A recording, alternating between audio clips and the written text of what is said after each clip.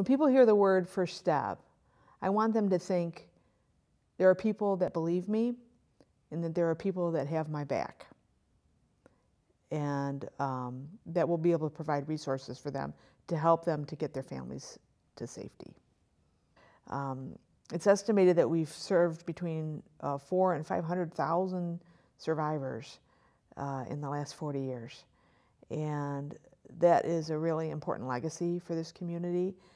So, you know, when you, when you look at the news and you see all the issues that are coming forth with the Me Too movement and more people talking about sexual assault and domestic violence, um, I think it's, I, I, think it's wonderful that, that people are finally feeling safe enough to come out and to admit that these things have happened to them and that uh, assailants are being held accountable. Um, it's been swept under the rug for so many years, and survivors who have come forward have not been believed. And now that people are starting to open uh, and hear that there's so many people that are that this has, have walked through this experience, I think people are feeling more and more comfortable, uh, to, you know, to come forth. And what I want all those survivors to know is that if they need help or support, that they can call First Step, they can talk to an advocate on our helpline, they could get in to see a, uh, a counselor, and um, that support is available if you need help. And um, I think in the beginning, you know, way back in the late 70s, early 80s, um, the police and domestic violence advocates were almost like oil and water. Uh, they were both coming at things from different perspectives, and it was challenging to learn to work together. And I think we've, we've really worked hard to change the laws and the legislation so that um, assailants would be held more accountable and that there would be support for survivors. Um, uh, an example of that is right now we've got programs in several different police departments where the police officers have gone through extensive domestic violence training provided by First Step to identify uh, how dangerous the situation is when they go out on a run.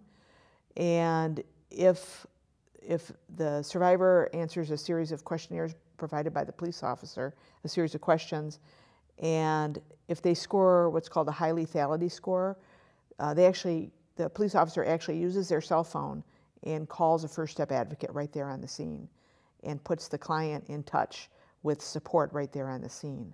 And so I think police officers are uh, looking at First Step as a resource, um, as a support, and um, you know through the years, you know it wasn't always like that. Um, and um, so we, we, you know, we are really partners in stopping this vicious and heinous crime against against families. I'm a little bit angry that we're still in business. and I think the ultimate goal would be to, if we could figure out how to make domestic violence a cultural pariah uh, and sexual assault a cultural pariah so that no one would do it.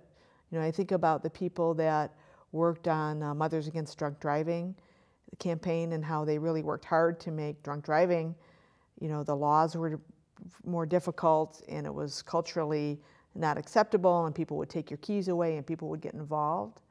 And I think about if we could do that same kind of movement with First Step to where uh, the community would start intervening when you know a young man or young woman started to show signs that they were going to be able to be, that they would be violent in their life that they would you know we would wrap our, arms around those people and teach them the right way so that we don't have to deal with this stuff when they get older.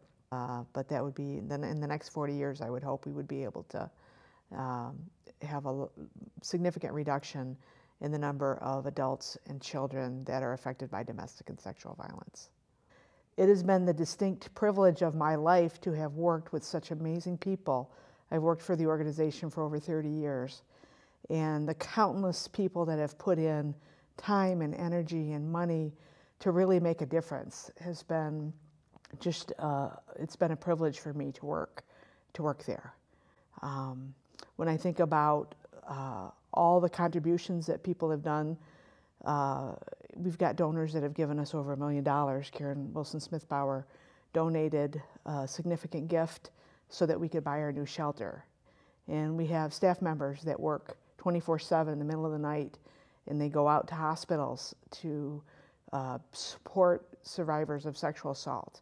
And they're leaving their families, they're leaving their homes because they really care. They're mission driven, they're committed, they're caring.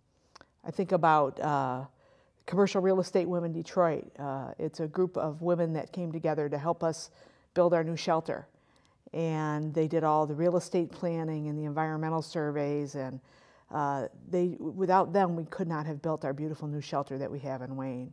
Uh, I think about uh, Lauren Waddington and David Treadwell, who chaired our capital campaign.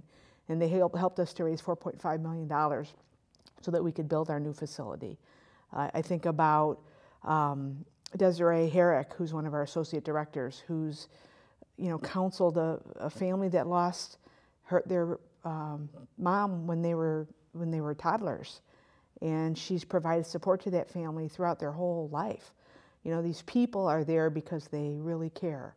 Uh, we have staff that you know get up in the middle of the night and uh, come in to cover shifts when somebody's sick, and you know staff members that just rejoice when somebody, um, you know, moves into a new home. You know, when a survivor is able to go into a place of safety and, and get their own home, our staff and our volunteers and our um, supporters just rejoice, and it's just really wonderful to be a part of that. You know, corporations come and they spend time and volunteer. We've, you know, had groups from Ford Motor Company and General Electric and uh, all kinds of organizations come and work on our playground and uh, you know, build structures on our facility and come in and do painting and whatnot. And uh, we've had groups that have come and provided significant financial support too. So corporations are a really big part of our work. There's been so many service organizations through the year that have supported the work of First Step. Uh, the Zonta Club of Farmington Novi, for example, has done a fundraiser for us for the last 24 years. Uh, the, the Ladies Ancient Order of Hibernians does a chocolate affair. Uh, Rotary clubs have installed things on our playground, and all these people make our work possible. Uh, I remember Carla O'Malley, who was on our board, sitting down and we developed our fund development plan on the back of a placemat at a restaurant. And to see that, you know, all these donors and all these staff and all these volunteers and board members were able to come together to make this dream a reality is a real, um, it's just a wonderful uh, privilege to have been a part of that and we never could believe that we've that we would have been in such a beautiful building and really transform uh, the the building of our structures to match the spirit of our work because it's absolutely beautiful.